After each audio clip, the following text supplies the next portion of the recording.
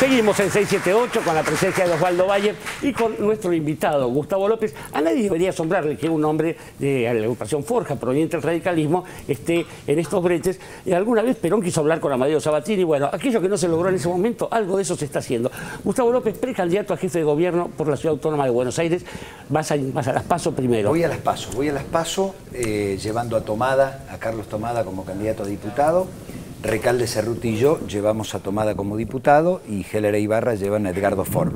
En realidad es una muy buena experiencia porque la ciudadanía tiene la posibilidad de elegir entre personas que estamos en el mismo proyecto político, en el mismo modelo de país, con el mismo liderazgo, eh, por nuestra historia, eh, por los gustos personales o por lo que quiera, tiene la posibilidad de elegir dentro de la diversidad que significa el kirchnerismo.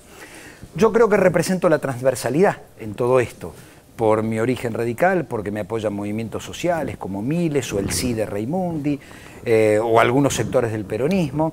El alfonsinismo, el lunes estoy haciendo un acto con el alfonsinismo que me apoya, eh, y, otros representan más la tradición peronista y otros representan eh, más la tradición de izquierda o centroizquierda que se acercó al gobierno.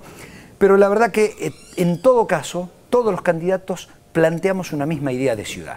Cuando alguien dice equivocadamente y que no somos nosotros, yo haría mejor lo de Macri, como puede decir Lustó, como puede decir Ocaña, yo digo, bueno, acentuaría la desigualdad, la injusticia, porque la ciudad de Buenos Aires es la ciudad más rica de la Argentina, la más desigual de la Argentina, con un norte que creció nueve veces respecto del sur en solo siete años por inversión privada y un estado inexistente. Digo, ¿por qué digo un estado inexistente? Porque digo, para sacar un crédito hipotecario en un banco no necesitas un Estado, el Estado necesita eh, redistribuir la riqueza, hacer planes de vivienda. Hoy había un informe sobre reproches del periodismo a los partidos de derecha. Bueno, hoy la Nación le reprocha a Macri que solo atendió, según una consultora privada, el 5% de la demanda en vivienda. Según nuestros datos, el 1% de la demanda en vivienda. Es decir, en siete años no hizo nada con el presupuesto más grande de la Argentina. Todos nosotros decimos, mira, queremos construir una nueva Buenos Aires, pero sobre otros paradigmas. El Estado frente al mercado, la solidaridad frente al individualismo, los derechos frente a los negocios. Y esto se traduce en la vida cotidiana con, mira, construimos eh, en estos 10 años 20 millones de metros cuadrados y solo 100 viviendas sociales. Es decir, el mercado eh, manejó el tema de la construcción.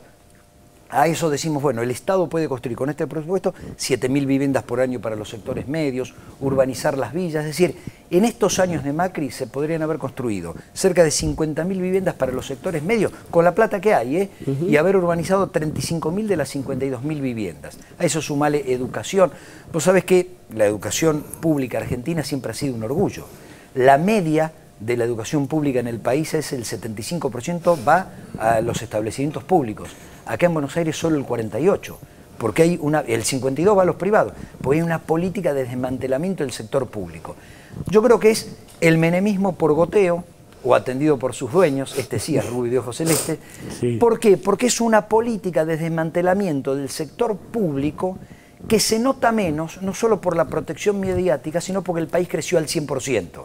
Entonces se disimula. Eh, bueno, nosotros tenemos otro proyecto de ciudad inclusiva, justa, equitativa, en el Frente para la Victoria. Porque parece que los porteños se enterarán de eso, Gustavo López, de rato. Digo, uno ve este, los últimos resultados electorales, la protección enorme que tiene el candidato. Sí, este. primero una gran protección, porque cuando vos vas punto por punto decís, y los hospitales no, están hechos un desastre. Y las escuelas, bueno, no, no construyeron ninguna y están faltando 33 escuelas. Y las viviendas, no, no se construyó ninguna casa. Entonces uno dice, bueno, ¿y por qué lo votan? Múltiples factores. En un país que creció, todos los oficialismos ganaron el 2011 y él también ganó. Y me parece que la protección ha ayudado a que, subido a una ola de crecimiento económico, bueno, ha disimulado estas falencias que yo creo que sí están en un fin de ciclo. Gane o no gane, están en un fin de ciclo porque no da para más. Por eso digo, nosotros desde el frente, entre todos los candidatos, cada uno un pedacito, pero el que gane va a representar el conjunto, lo que estamos proponiendo es la construcción desde otro lado para hacer de esto, de la ciudad más rica, la ciudad más justa. Te sé que tenés una mujer que hay, todos los compañeros quieren hacerte preguntas, porque estamos muy apretados de tiempo. Este, sé que tenés en la muñeca un amuleto igual que el de Santiago Francisetti, que nos ve de Mendiolaza, Córdoba. Saludos a Santiago, que cumpleaños. Lo quiero agradecer, lo quiero agradecer. Hoy Florencia está cumpliendo 12 años y me regaló esto para tener suerte en las elecciones. Así que estamos con los comuneros recorriendo los barrios, pero por las dudas también hay que tener un poquitito de suerte. Gustavo López, candidato a jefe de gobierno por la Ciudad Autónoma de Buenos Aires. Estamos en 678 con Osvaldo Bayer y con una letra Osvaldo Bayer y los muchachos del Quinteto Negro La Boca. Ya volvemos aquí mismo.